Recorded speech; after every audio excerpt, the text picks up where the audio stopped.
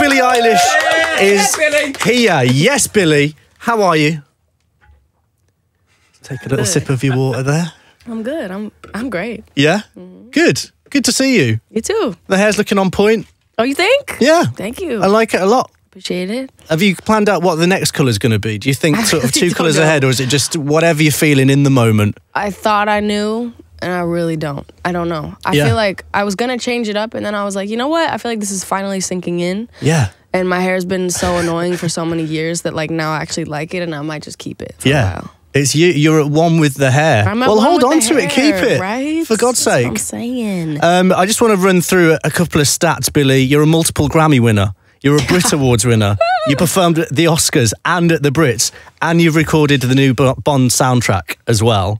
And this is all just this year. It's only like February. Literally February. it's like, are you going to take the rest of the year off? Because you probably could. No. Fine, People treat yourself to having like a 10 keep- month holiday. I know, I know, but I, I feel like I'd be so sad. I don't know. I just feel like it'd be so boring for me. Are you I one of those love- people who loves to work? Kinda. Yeah. I, I, thought I wasn't, and then I had time off, and I was like, ugh. Yeah. be doing stuff. I want to be like out and you know doing my job. What do you do in your time off? Do you sit and watch daytime TV? No, I really don't. I, I, I don't even know. I like to drive, so I'm like always in my car. If I'm home and I have time off, I'm Yeah. like driving. You go for a drive. I go for a drive. I take Yeah. a bath. Yeah. you know. Yeah, nice. Um, are you a fan of the Jonas Brothers, Billie? Um, yeah, for sure. Yeah? I um, I I kind of missed the um, the like huge when everybody was like, yeah, the Jonas Brothers. The first time round, I just wasn't aware of it, honestly. Yeah, like yeah. I was too too Justin Bieber out. Yeah. Do you know what I'm saying? Yeah. I also didn't watch cable or like Disney Channel or anything, so I didn't see any of those shows. Oh my word. I know. A world without the Jonas Brothers, Billie, it's not a happy place. I know. I'm imagining it and it's making me feel very sad, quite frankly. No, but they're killing it again. I love that they came. They back. are killing Very it. Cute. And you are now a fan. I mean, let's talk about Bieber. Is there anyone else you were a big fan of back in the day, or was it just all Yeah. about? No, no, no. It was, it was tons of people. Oh, Yeah. yeah. yoy. It's Tyler the Creator, who Mm. now that I know just makes fun of me all day, every day I see him. yeah, yeah, that must be very strange. It's weird, but Yeah. he's, he's funny as hell. I gotta Yeah. give him credit for for helping me find who I was. But Can I ask a question about him? oh yeah, Is his voice really that deep in real life, or oh, does Oh, it? yeah. I would love it if his real voice, like when he's just chatting to you, is like, really though, "Hiya." when Tyler comes into the room, you gotta hide your flaws real quick. that dude is gonna pick them all out Yeah. for real. He's funny though. It's all Yeah. it's all like it's all love, but that's mean. Yeah. like he's like yeah. He just it's funny though. He's funny. Yeah. We love Tyler. I'm just obsessed with his talking voice. It I does know. it does No, funny he's got a things to me, Billie. I'm not going to lie. a great voice. Billie, you and your brother, you've done something historic. You've recorded a Bond soundtrack. This is incredible. It's called No Time to Die. It's an honor. Uh-huh. Um, but the question is, are you contractually obliged to say that Daniel Craig is your favorite Bond of all time?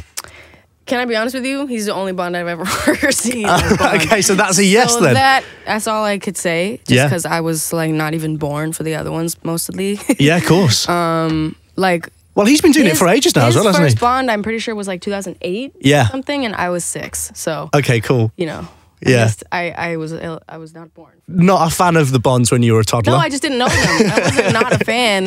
But it's not um, that kid friendly, is it? But really? as soon I as I saw the first one, I was like hooked. It's it's really like the most incredible. Film. and now you've done the music for it. I, I can't. But- I'm excited for you, and it's nothing to do with me. It's really, it's really like the biggest honor. It's Yeah. like the coolest thing you could do. It actually is. It really is. It for me. actually is. It's really cool. Um, so it's Daniel Craig's last film that he's doing as Bond. I know. I'm sure everybody asked you this, but I want to ask you because I think it's fun. Who do you think should be the next James Bond? I just Bond? said this. I said Michael B. Jordan, and I'm gonna stick to it. oh my god, yeah, that'd be a great shout. I'm- actually, I, I think so. I think he'd kill it. He's an Yeah. incredible actor.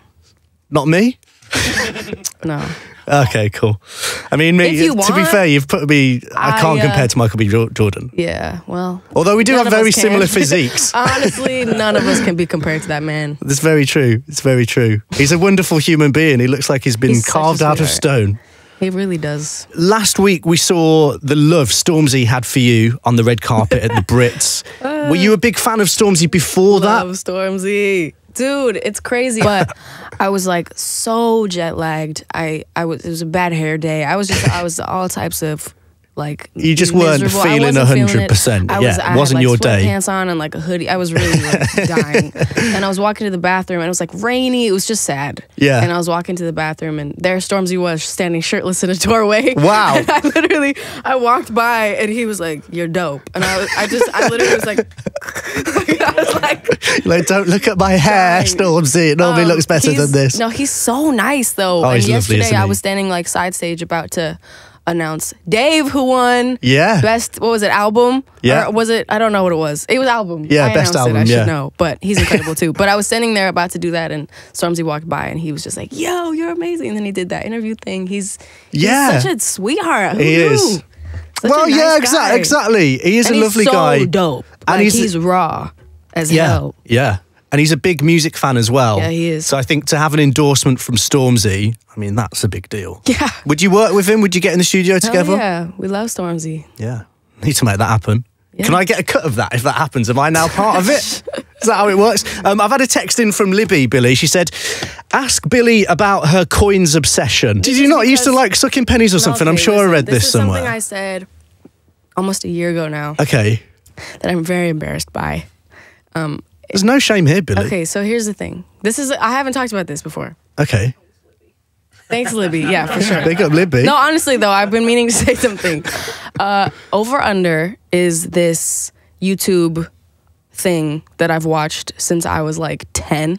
okay, what is is it? I've something. not heard It's of that. basically artists come in and they ask questions. They the people behind the cameras go, okay, here's the blank, and they say something, and the artist has to say if it's over un, overrated or underrated, and then explain why. Got you. Okay. I was obsessed with this Yeah. for like years. My brother and I watched them all the time. yeah. Earl Sweatshirt did one Yeah. that I thought was the funniest thing I'd ever seen in my life. And basically, I got asked to do an over under about a year, like a little over a year ago, uh-huh. less than less than a year ago. Yeah. Jesus, in June. I'm dying.